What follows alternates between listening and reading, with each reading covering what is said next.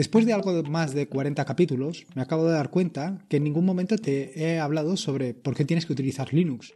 ¿Por qué tienes que instalar Ubuntu o Linux Mint o Arch o cualquier otra distribución que se te ocurra? Nunca me lo he planteado. Siempre he pensado que eh, tú, la persona que me estás escuchando, eh, utiliza ya Linux. Pero es posible que no. Es posible que en un momento determinado hayas encontrado algún capítulo que te haya interesado y te hayas apuntado a escuchar los podcasts al final no en todos los podcasts hablo solamente de Linux, hablo también de Android, hablo también de mm, aplicaciones que son software libre y que son multiplataforma, con lo cual en un momento determinado puedes estar escuchando este podcast, pero no haberte planteado pues instalar Linux.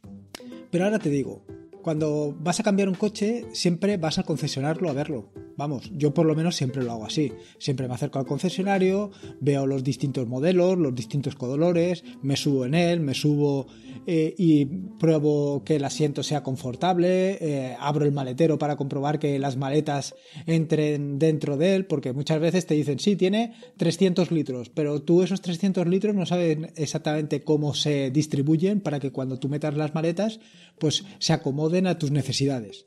Ahora bien, eh, si te compras un ordenador, este ordenador siempre viene con Windows. Bueno, a menos que te compres un Mac o que te compres un ordenador en el que viene Linux, pero la gran mayoría de los ordenadores que te sueles comprar tú, por ejemplo, son con Windows. Eh, ¿No te has planteado nunca en cambiar de sistema operativo? ¿No te has planteado nunca la necesidad de probar otras, otras alternativas que pueden ser mejor? al fin y al cabo pasa lo mismo que con el coche.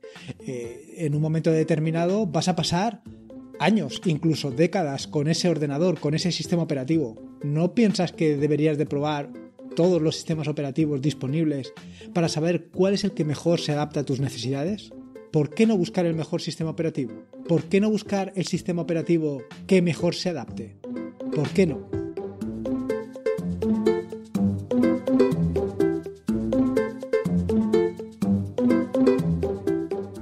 Soy Lorenzo y esto es Atareado.es versión podcast. Este es el episodio número 42 del podcast, un podcast sobre Linux, Ubuntu, Android y software libre. Aquí encontrarás desde cómo ser más productivo en el escritorio o montar un servidor de páginas web en un VPS hasta cómo convertir tu casa en un hogar inteligente. Vamos, cualquier cosa que se pueda hacer con Linux seguro que la encontrarás aquí. En este nuevo episodio del podcast te voy a contar precisamente por qué tienes que probar Ubuntu, Linux Mint o cualquier otra distribución y cómo puedes hacerlo. Desde luego que si eres de los más viejos del lugar, es probable que no te cuente nada que no sepas. Así que cuando consideres, puedes dejar de escuchar el podcast. Bueno, esto de que puedes dejar de escuchar el podcast es evidente. Lo puedes dejar de escuchar siempre que quieras y en el momento que quieras. Es una forma de hablar.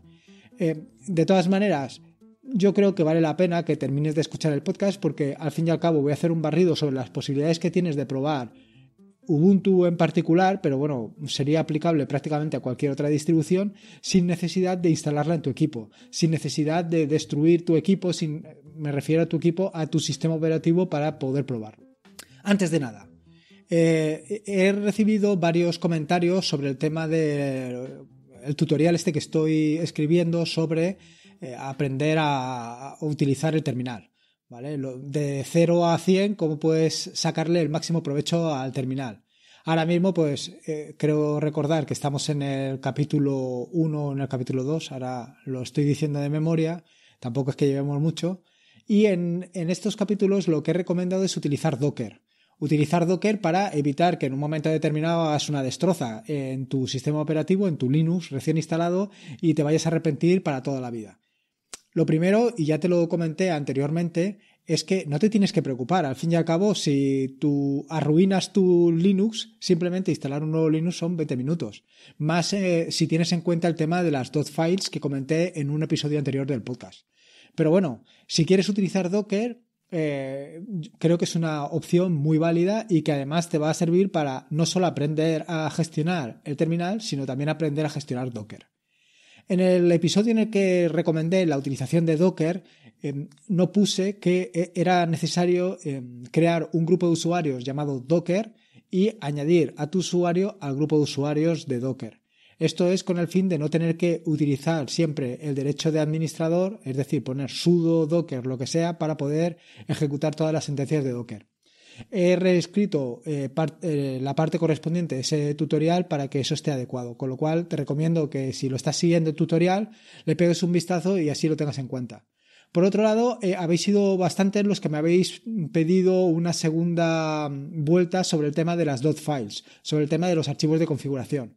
Mm, si estáis muy interesados, de verdad que no tengo ningún inconveniente. Escribiré un segundo, bueno, ese en particular, eso era un, episodio del podcast, escribir un artículo en referencia a las dot files y con más detalle cómo se puede hacer.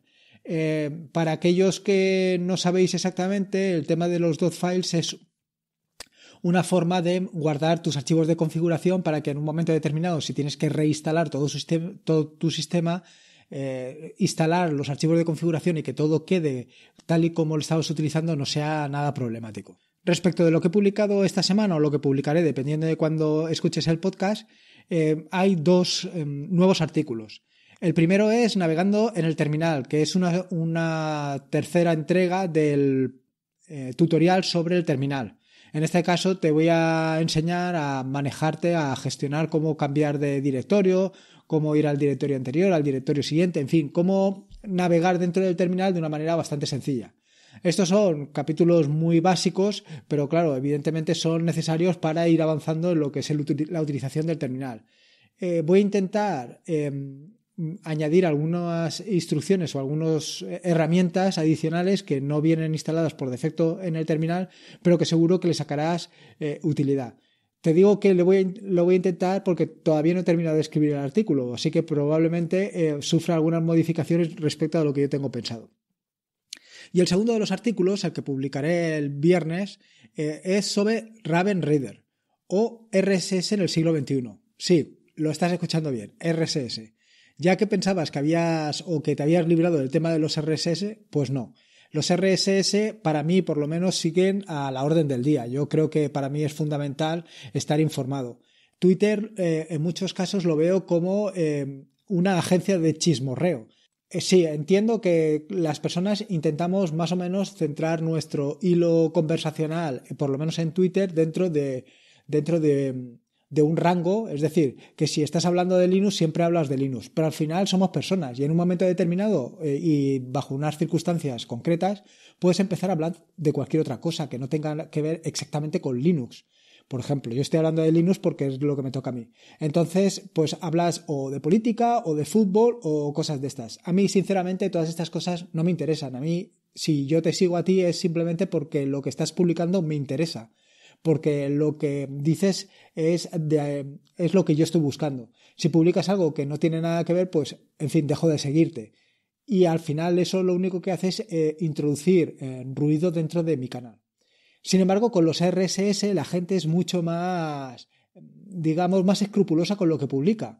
La gente en su blog normalmente em, siempre hace referencia a la misma temática y entonces me resulta mucho más fácil seguir un RSS de un blog que incluso de un, podcast y ya Twitter yo creo que es un desvarío mucho mayor. Y por eso eh, he, publicado este artículo sobre Raven Reader.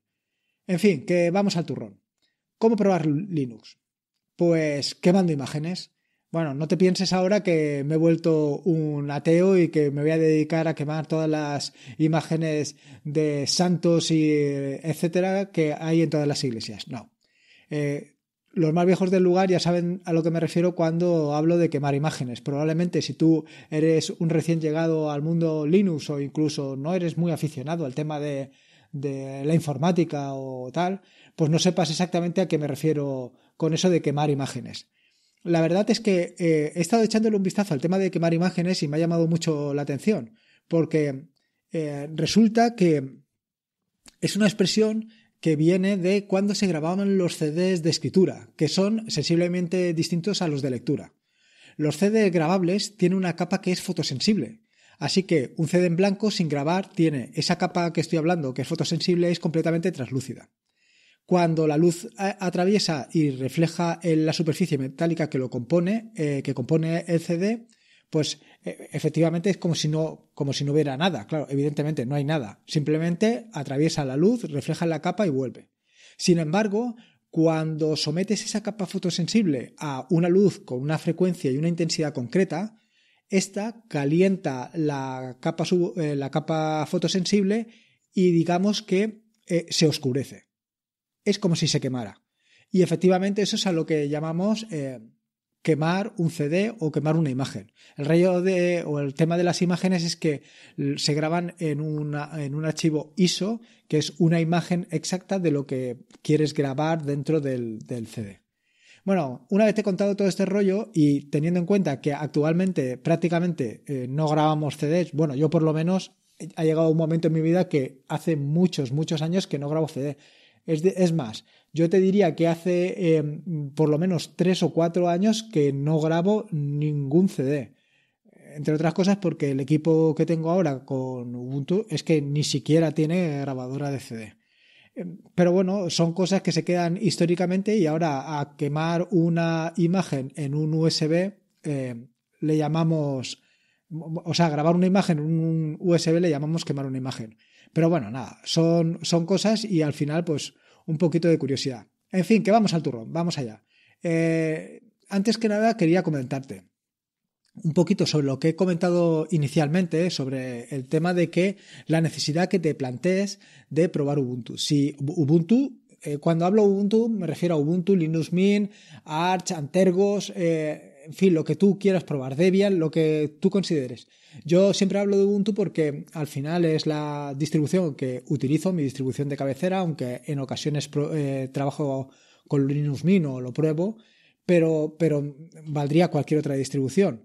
Yo creo que es importante, eh, con independencia de cualquier cosa, que una vez hayas probado las distribuciones que consideres, te quedes con una, para que así profundices en ella y llegues a conocerla. Eh, uno de los grandes problemas que tenemos eh, en el mundo este de Linux es precisamente que los ordenadores que se distribuyen normalmente se distribuyen con Windows, no se distribuyen con, con Linux o no se distribuyen con ningún sistema operativo. Yo hace años que ya vengo comprando los ordenadores sin ningún sistema operativo instalado y yo me instalo el sistema operativo que me, que me interesa. En este caso, como te comento, es Ubuntu. Una nota al margen. Probablemente esta es una de las razones por las que Linux no triunfa en el escritorio. Es decir, precisamente cuando compramos un ordenador y ya nos viene con un sistema operativo instalado, ¿para qué nos tenemos que preocupar en instalar un nuevo sistema operativo? Pero tal como te he dicho en la introducción, yo creo que es importante. Creo que es importante no solamente que pruebes el ordenador, sino que pruebes diferentes sistemas operativos y que te quedes con aquel que más te convenza, con aquel que más te pueda resolver todos los problemas que tienes, o te ayude mejor a desenvolverte, o que te dé mayores posibilidades, o con el cual puedas aprender mucho más. Y esta es una de las razones por las que yo creo que debes de probar Ubuntu, Linux Mint o la distribución que tú consideres. Creo que eh, Linux es muy buena alternativa y te da un amplio campo de posibilidades para hacer casi cualquier cosa que te puedas imaginar. Sí, es cierto que hay determinadas aplicaciones que no van a correr sobre, sobre Linux. En eso estoy de acuerdo contigo. Pero si no vas a utilizar esas aplicaciones, es decir, si no tienes una aplicación que sea específica de tu sistema operativo, ¿por qué ceñirte a un sistema operativo que a lo mejor no te da todas las cosas que tú necesitas o que simplemente constriñe eh, tus, libertades o tus posibilidades de hacer cosas. Piénsalo. Yo creo que eh, es obligatorio que pruebes otros sistemas operativos y los conozcas a fondo. En fin, una vez ya te he contado por qué tienes que probar Linux, ya sea Ubuntu, Linux Mint, Antergos o la distribución que tú consideres, te voy a contar tres opciones que tienes para probar cualquiera de las distribuciones sin necesidad de que la instales en tu equipo. Es decir, tú la puedes probar en tu ordenador, pero sin, sin tener que físicamente hacer nada, o sea, sin, tener que instalarla en tu equipo con Windows, lo que podría llevar al traste que todo lo que tienes en Windows pues lo pierdas o las cosas que sean. ¿vale? La primera de las opciones, y probablemente la más sencilla de todas, bueno, probablemente no, con toda seguridad es la más sencilla de todos, es hacer un tour por Ubuntu. ¿Qué es eso de un tour por, Ubuntu? Bueno, pues eh, a ver, se trata de una página que se hizo hace unos 5 años con la versión 14.04 de Ubuntu, con lo cual ten en cuenta que estará un poco desactualizada, que te permite navegar a través de, eh, del sistema operativo de Ubuntu.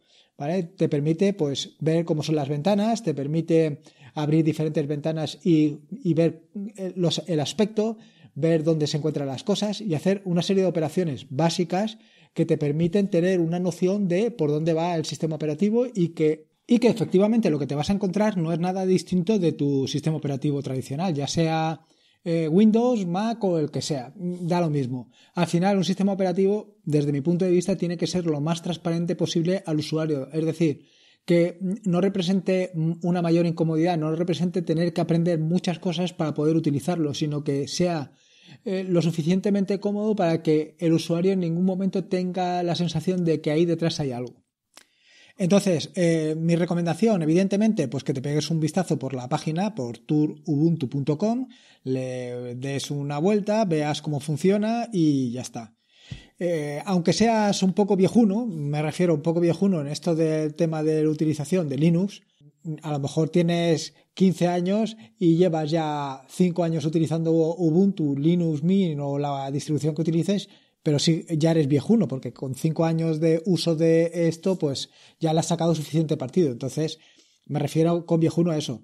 Aunque seas viejuno, eh, eh, te recomiendo encarecidamente que visites la página, porque la verdad es que está muy bien hecha y llama mucho la atención eh, la facilidad con la que la han hecho para que veas en qué consiste esto, en qué consiste Ubuntu.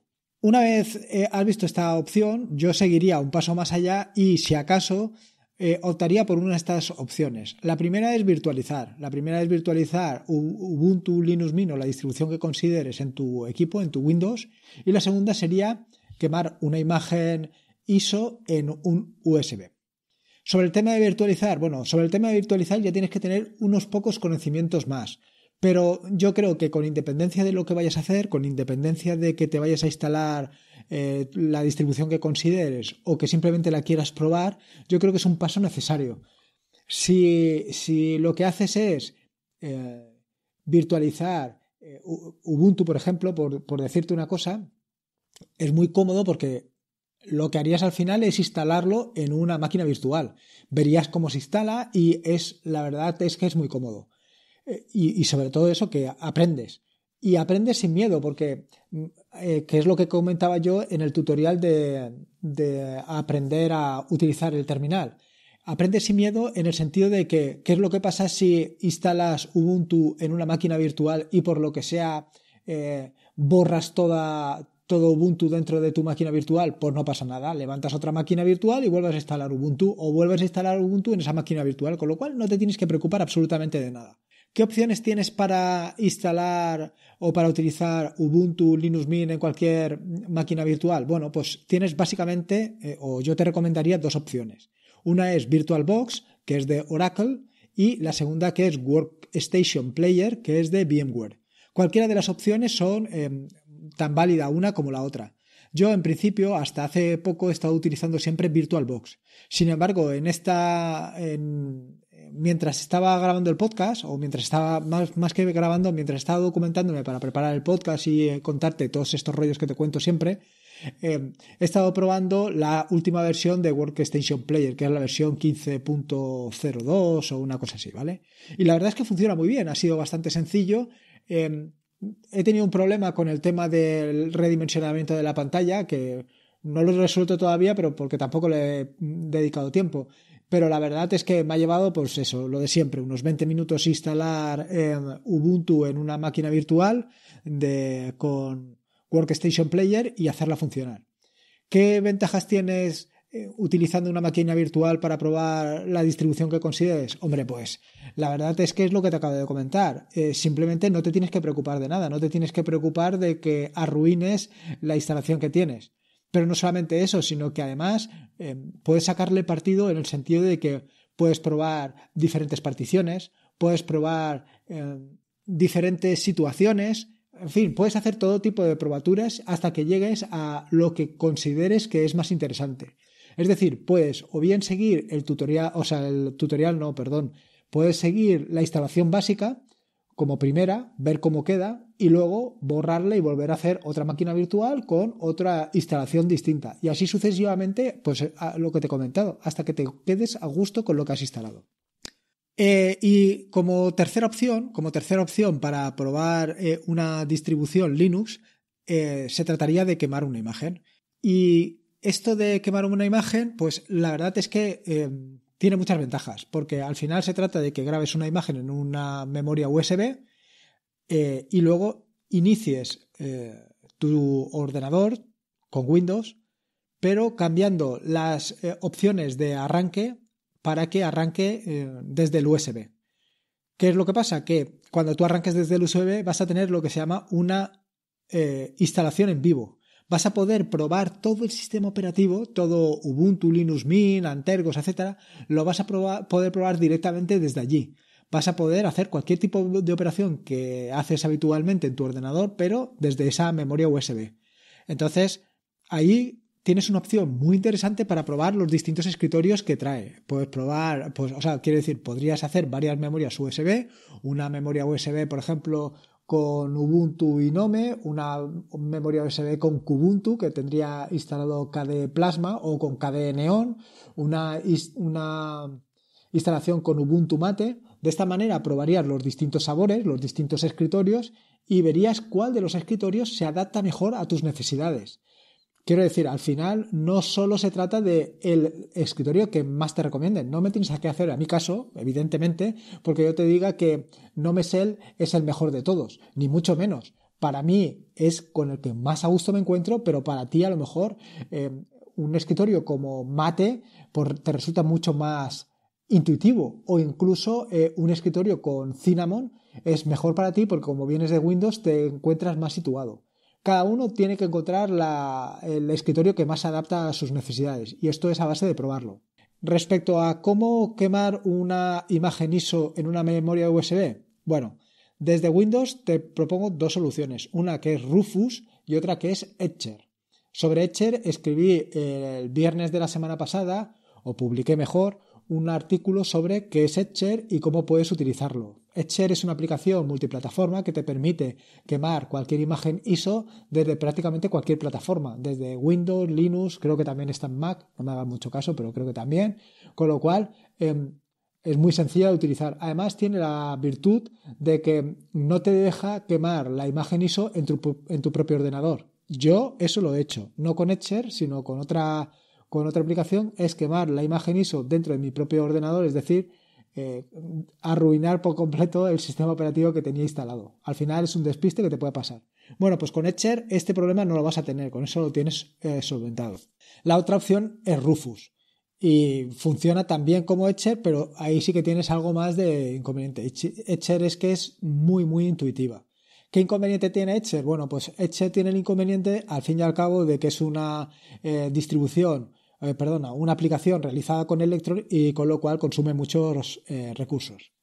Si lo que vas a hacer es quemar la imagen con, con el Linux, bueno, pues yo te recomendaría igualmente Etcher, si eres más menos viejuno, como he comentado anteriormente, y si no, directamente desde el terminal. Desde el terminal eh, escribí hace tiempo algún artículo sobre cómo quemar imágenes desde el terminal. ¿Por qué quemarla desde el terminal? Porque es muy sencillo, realmente es muy sencillo y no tienes que gastar todos los recursos que utiliza Etcher para, hacer, para quemar una, terminal, una imagen, que me parece una cosa muy absurda. Muy absurda siempre y cuando te manejas bien con el terminal. Claro, si no te manejas es que lo que es absurdo es que es empeñarte en manejar el terminal para hacer algo que realmente no sabes lo que estás haciendo. En fin, como ves, tienes tres opciones muy interesantes, ya sea visitar la página web de Ubuntu para ver cómo es Ubuntu. Recuerda que es la versión 14.04 que dista bastante de la 18.04, pero vas a ver que más o menos todo es relativamente sencillo. La siguiente opción que tienes es eh, utilizando una virtualización, ya sea con VirtualBox o con Workstation Player. Y la tercera de las opciones es quemar una imagen en un USB utilizando Rufus o Etcher arrancando desde la BIOS y probándola directamente y verás que puedes hacer todas las operaciones que normalmente haces con Windows, las puedes hacer directamente desde la imagen, con la ventaja de que vas a poder hacer muchas más cosas. Todo es cuestión de paciencia y eh, dedicarle un poquito de tiempo. En fin, espero que te haya gustado este nuevo episodio, sobre todo dedicado a los menos viejunos, pero que seguro que en un momento determinado algo de tu rol le puedes sacar.